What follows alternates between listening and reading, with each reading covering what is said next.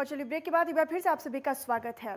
UP के बांदा ज़िले में यमुना नदी में एक बड़ा हादसा हो गया। दरअसल यमुना नदी में यात्रियों से भरी नाव पलट गई, जिसमें कि दो लोगों की मरने की भी जानकारी मिल रही है। आपको ये भी बताएँ कि नाव पर करीब 30 से 40 लोग सवार थे, जिसके बाद जानकारी मिलते ही प्रशासन मौके पर पहुँचा। फ़िलहाल बचाव कार्य लगातार जारी है। और ये तस्वीरें भी आपको दिखा रहे हैं। हादसे के बाद की तस्वीरें हैं। तमाम जो ग्रामीण हैं वो यहाँ पर पहुँचे हुए हैं और जिनके परिजन इस नाव में कहीं ना कहीं सवार थे, जो कहीं ना कहीं जो लोग हैं, वो लापता भी बताए जा रहे हैं और उनके परिजन और प्रशासन, पुलिस सभी यहाँ पर मौके पर मौजूद नज़र आ रही हैं। और राहत बचाव कार्य भी किया जा रहा है, फ़िलहाल बचाव कार्य भी चल रहा है, रेस्क्यू भी चल रहा है, लापता लोगों की तलाश जारी है। तो नाव में करीब 30 से 40 लोग सवार थे। हालाँकि नौ लो, दो लोगों के मरने की भी खबर है और पुलिस और जो प्रशासन है वो मौके पर जानकारी पाकर मौके पर पहुँचा है।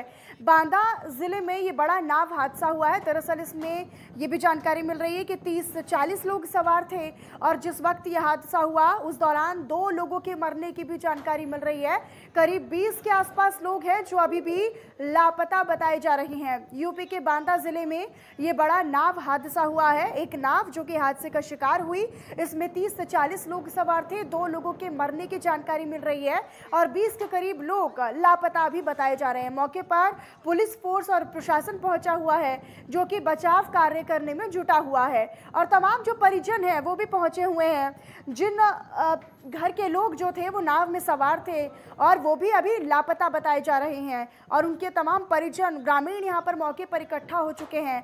पुलिस और प्रशासन भी मौके पर मौजूद नज़र आ रहा है। तस्वीरें भी आपको लगातार दिखा रही हैं। गंगा नदी में दरअसल, यमुना नदी में दरअसल ये जो नाव है, वो पलट गई, जिस कारण ये बड़ा हादसा हुआ है और यमुना नदी के किनारे पर लोग पहुँचे हुए हैं।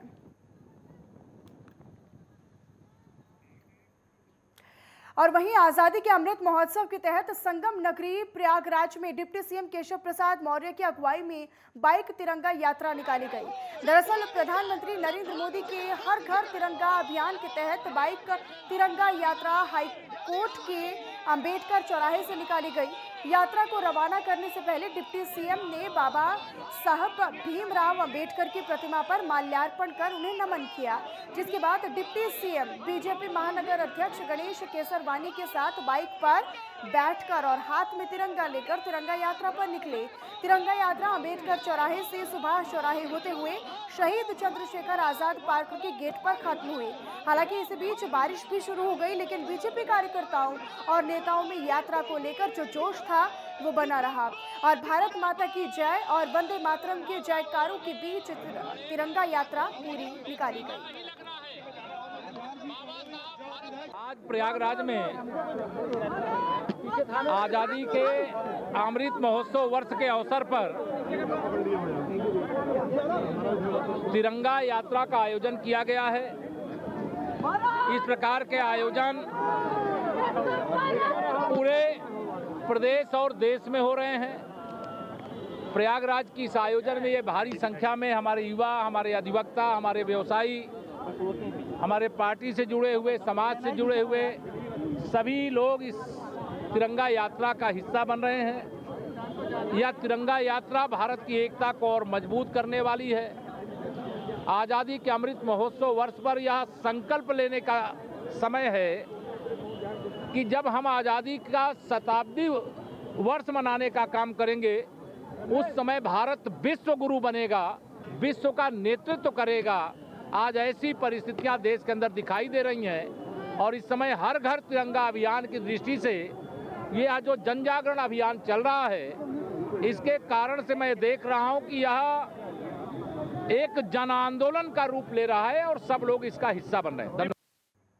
लखनऊ में डिप्टी सीएम ब्रजेश पाठक ने कल्याण सिंह कैंसर संस्थान का औचक निरीक्षण किया और इस निरीक्षण के दौरान कैंसर संस्थान में हड़कंप भी देखने को मिला, जिसके बाद अस्पताल में जल्द ही 200 बेड पर कैंसर मरीजों को भर्ती करने के निर्देश भी दिए गए। इस औचक निरीक्षण के दौरान डिप्टी सीएम ने वार्ड से लेकर ओपीडी तक का जायजा लिया और इसी दौरान डिप्टी सीएम ने मरीजों से बातचीत भी की। साथ ही साथ डॉक्टर्स और कर्मचारियों की भर्ती प्रक्रिया को जल्द ही पूरा करने की बात भी कही निकाल कही।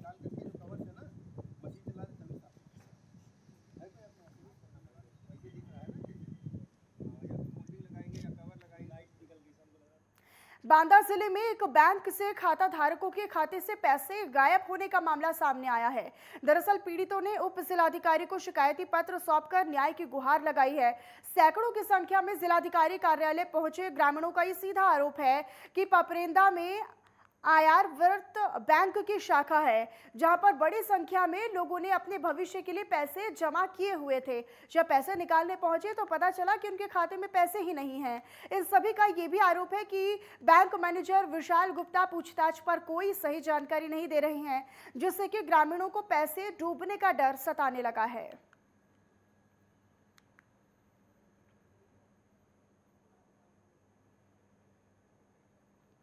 बदायूं ज़िले के वजीरगंज थाना क्षेत्र में पुलिस को पीटने वाले 12 लोगों को गिरफ़्तार कर लिया गया। दरअसल आपको ये बताते चले कि अपहरण के बाद हत्या की जानकारी मिलने पर शव बरामद करने गई टीम पर हमला हुआ था, जिसके बाद वजीरगंज थाना पुलिस को दौड़ा दौड़ा कर पीटने वाली भीड़ के 12 नामजद हुए हमलावरों को पुलिस ने अब गिरफ़्तार कर लिया है, जिनके खिलाफ जानलेवा हमला समेत और सरकारी काम में बाधा डालने के अलावा और कई गंभीर धाराओं में मुकदमा दर्ज किया गया है।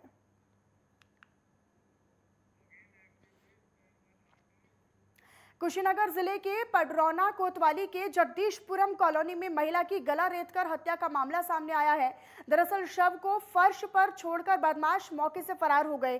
पुलिस की पुलिस ने शव को कब्जे में ले लिया है और मामले की जाँच अभी की जा रही है। दरअसल बताया ये भी जा रहा है कि महिला के दो बेटे हैं। उनके पति सेना से रिटायर्ड जवान हैं, लेकिन जिस समय ये पूरी वारदात घटी, घर में उस वक्त कोई नहीं था।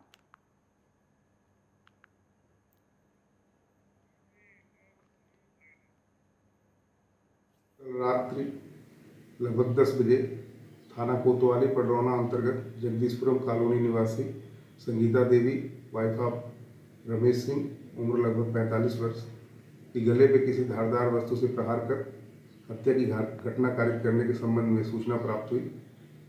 तत्काल फोरेंसिक टीम को मौके पर भेजकर छानबीन की कार्रवाई प्रारंभ की गई।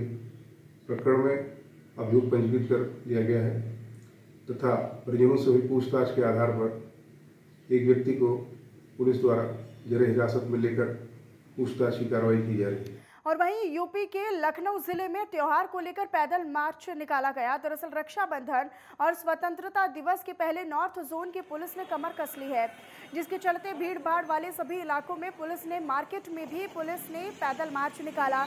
आपको ये बताते चले कि रक्षाबंधन से पहले महिलाओं में सुरक्षा भावना बनाने के लिए नॉर्थ जोन पुलिस ने गश्त की।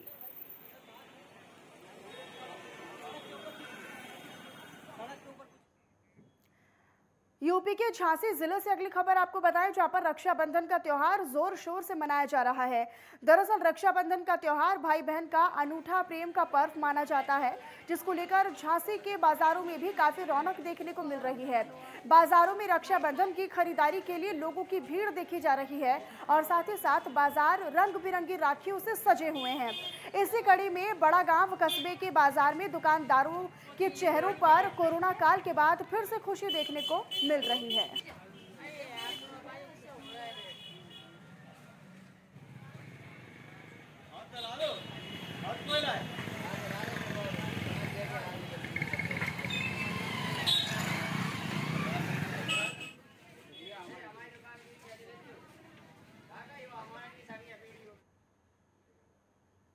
कुशीनगर से अगली खबर आपको बताएँ, जहाँ पर पुलिस ने चोरी के वाहन को कबाड़ की दुकान से बरामद किया। दरअसल कबाड़ की दुकान से चार वाहनों को बरामद किया गया। हालाँकि कबाड़ी दो वाहनों को पहले ही काट चुके थे और दो गाड़ियों को काटने की फिराक में थे, लेकिन इससे पहले ही पुलिस ने उन्हें पकड़ लिया और पुलिस ने मुखबिर की जानकारी मिलने पर सलीमगढ़ नोनिया पट्टी के पास कबाड़ की दुकान पर अवैध रूप से काटी जा रही गाड़ियों समेत कबाड़ी नरेंद्र चौरसिया को भी गिरफ़्तार कर लिया है। और पुलिस अधीक्षक धवल जायसवाल ने पूरी कार्रवाई की प्रेस कॉन्फ्रेंस कर जानकारी दी।